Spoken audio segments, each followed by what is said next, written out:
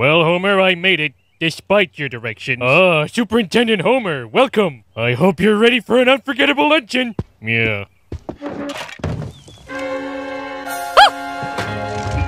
Oh, Egads, my roast is ruined!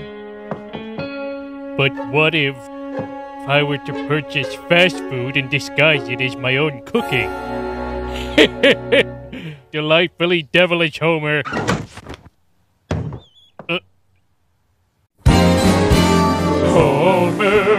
Crazy explanation. The superintendent is gonna need his medication. When he hears Homer's lame exaggerations, there'll be trouble town tonight. Homer! Superintendent, I was just, uh, stretching my calves on the windowsill. Isometric exercise. Care to join me? Why is there smoke coming out of your oven, Homer? Yeah. Ooh, that isn't smoke, that's steam. Steam from the steamed clams we'll be having. Mmm, steamed clams.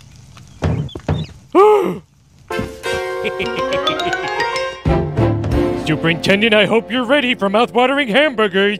I thought we were having steamed clams. No, I said steamed hams. That's what I call hamburgers. You call hamburgers steamed hams. Yes, it's a regional dialect. Uh-huh. Uh, what region? Uh, upstate New York? Really? Well, I'm from Utica, and I've never heard anybody use the phrase steamed hams. Oh, not in Utica, no. It's an Albany expression. I see. You know, these hamburgers are quite similar to the ones they have at Krusty Burger. no, patented Simpson Burgers, old family recipe for steamed hams. Yes, yes, and you call them steamed hams despite the fact that they are obviously grilled.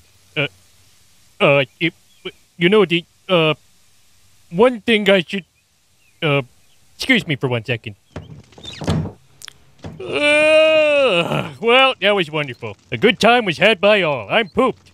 Yes, I should be. Good lord, what's happening in there? Aurora Borealis. Uh, Aurora Borealis! At this time of year, at this time of day, in this part of the country, localized entirely within your kitchen. Yes. May I see it? No.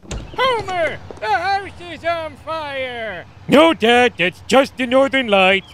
Well, Homer, you are an odd fellow, but I must say, you steam a good ham. Help! Help! Mm-hmm.